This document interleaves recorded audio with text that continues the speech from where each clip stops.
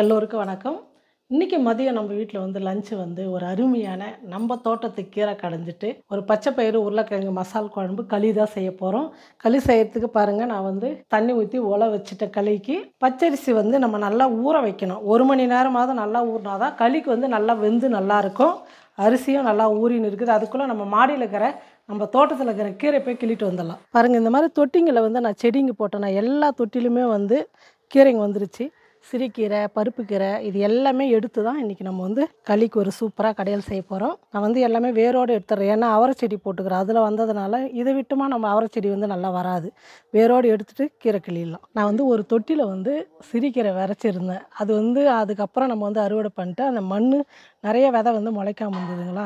அந்த மண்ணில் வந்து இந்த செடியெல்லாம் எடுத்து வச்சதுனால அதில் எல்லாத்துலேயுமே வந்து கீரை முளைச்சி வந்துருச்சு. இந்த நாதரசம் கீரைன்னு சொல்லுவோம் நாங்கள் இது அவ்வளோ நல்லது மருத்துவ குணம். ஏன்னா கனகாமரம் செடி வந்து வராமல் போயிடும். அதனால் வேரோடு எல்லாமே எடுத்துடலாம். பாருங்கள் கொஞ்சம் மணத்தக்காளி கீரை கொஞ்சம் வந்து குப்பைக்கீரை பருப்பு கீரை சிறுகீரை நாலு அஞ்சு வகையான கீரை வந்து அப்புறம் கொஞ்சம் வந்து இந்த வெள்ளை கரிசலாங்கண்ணி.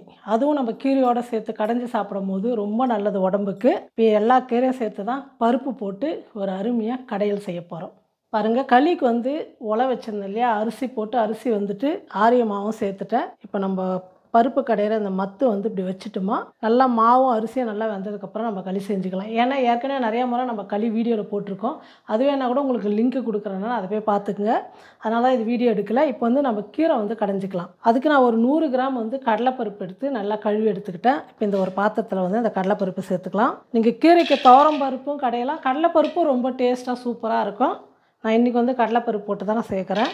ஒரு ஆறு பச்சை மிளகாய் ஒரு பத்து பல்லு பூண்டு நல்லா ஒரு கைப்பிடி அளவு வந்து சின்ன வெங்காயம். ரெண்டு தக்காளி சேர்த்துக்கிறேன்.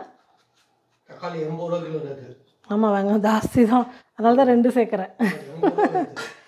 கட் பண்ணி சேர்த்துக்கலாம். அப்போ தான் சீக்கிரமாக வெந்துடும் இப்போ தண்ணி சேர்த்து நம்ம வந்து பருப்பு வந்து வேக வச்சுக்கலாம். பருப்பு வெந்ததுக்கப்புறம் கீரை சேர்க்கும் போது தான் கொஞ்சம் பச்சையாகவும் இருக்கும் நல்லாயிருக்கும் சாப்பிட்றதுக்கு வந்து. பருப்பு கூடவே வந்து கீரை போட வேணாம். இப்போ தண்ணி சேர்த்துக்கிறேன். கொஞ்சம் மஞ்சள் தூள் சேர்த்துக்கலாம். இப்போ பருப்பு வேகட்டும். பாருங்கள் பருப்பு வந்து நல்லா வெந்துடுச்சு. இப்போ வந்து நம்ம கீரை போட்டுக்கலாம். கீரை நல்லா வேகட்டும். பாருங்கள் கீரை சேர்த்து கீரையும் நல்லா வெந்துடுச்சு. இப்போ புளி சேர்த்துக்கிறேன். புளி சேர்த்துட்டு இப்போ நம்ம உப்பு சேர்த்து பருப்பு சட்டியில் போட்டு நல்லா கடைஞ்சி எடுத்துக்கலாம். பாருங்கள் கீரை வந்து நல்லா பருப்பு சட்டியில் போட்டு கடைஞ்சி எடுத்துக்கிட்டேன். இப்போ நம்ம தாளிச்சிக்கலாம். எண்ணெய் வந்து ஒரு ஒன்றரை டீஸ்பூன் எண்ணெய் வந்து நான் சேர்த்துக்கிட்டேன் முன்னாடியே. எண்ணெய் காஞ்சிடுச்சு. வடகம் சேர்த்துக்கலாம். வடகம் சேர்த்து தாளிக்கும் போது நல்லா கீரை குழம்புலாம் வந்து சூப்பராக இருக்கும். நம்ம சேனலில் வந்து வடகம் வந்து வீடியோவும் போட்டிருக்கோம். அதையும் பாருங்கள் இப்போலாம் மக்கள் யாரும் வடகம் போட முடியாது. ஏன்? இப்போ சொல்லலை. வடகம் இப்போ போட மாட்டாங்க யாரும். மழை காலத்தில். வெயில் காலத்தில் தானே போடுவாங்க. வடகம் நல்லா பொரிஞ்சிருச்சு இப்போ கருவேப்பிலை சேர்த்துட்டு கீரை குழம்புல சேர்த்துக்கலாம். இந்த வடகத்தை தாளித்து போடும் போது எவ்வளோ ஒரு வாசனை இல்லை. சூப்பராக இருக்குது வடகத்தோட மனம் நல்லா இருக்கும். சாப்பிட்றதுக்கு நல்லா இருக்கும்.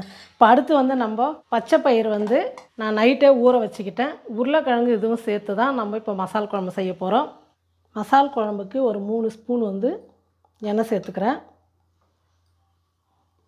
எண்ணெய் நல்லா காஞ்சிடுச்சு. கடுகு சீரகம் சேர்த்துக்கிறேன். ஒரு ரெண்டு கைப்பிடி அளவு சின்ன வெங்காயமும் கருவேப்பிலை சேர்த்துக்கலாம். வெங்காயம் வந்து நல்லா வதங்கட்டும். வெங்காயம் வதங்கிடுச்சு.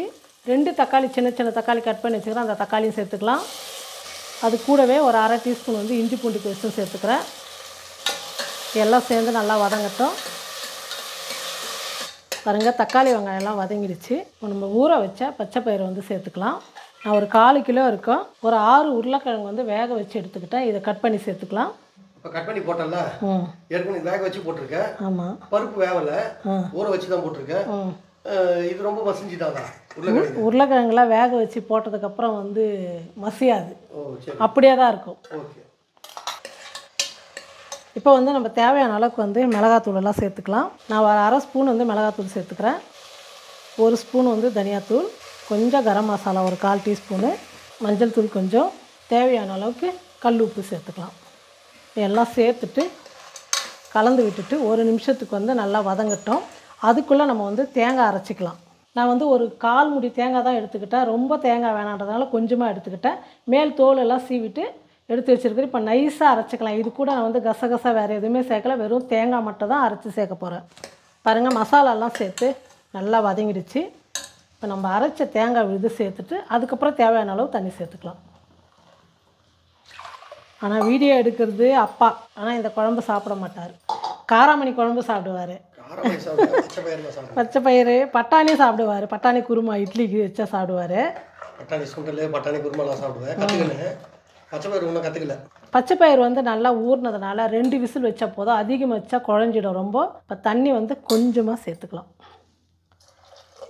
ஏன்னா இது சாதத்துக்கும் சாப்பிட்லாம் களிக்கும் சாப்பிட்லாம். இந்த அளவுக்கு இருந்தால் போதும். இப்போ நான் வந்து குக்கர் மூடி போட்டு மூடிட்டு ஒரு ரெண்டு விசில் வச்சு இறக்கிறேன். பாருங்கள் ரெண்டு விசில் வந்து நான் ஆஃப் பண்ணிட்டேன். சூப்பராக வந்து என்ன குழம்பு? பச்சை பயிறு மறந்துட்டேன் ஆமாம் பச்சை பயிரும் உருளைக்கிழங்கு வச்சு ஒரு அருமையான மசால் குழம்பு.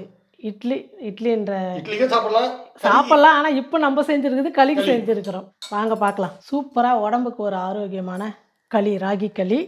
எல்லாம் கலவைக்கீரை சேர்ந்து நம்ம தோட்டத்துக்கீரை கடலைப்பருப்பு போட்டு ஒரு கடையல் பச்சைப்பயிறு உருளைக்கிழங்கு மசால் குழம்பு. மதியம் வந்து சூப்பராக ரெண்டு விதமான குழம்பு போட்டு நல்லா ஒரு உருண்டை களி அடிச்சிட்டு நிம்மதியாக தூங்க வேண்டியதுதான்.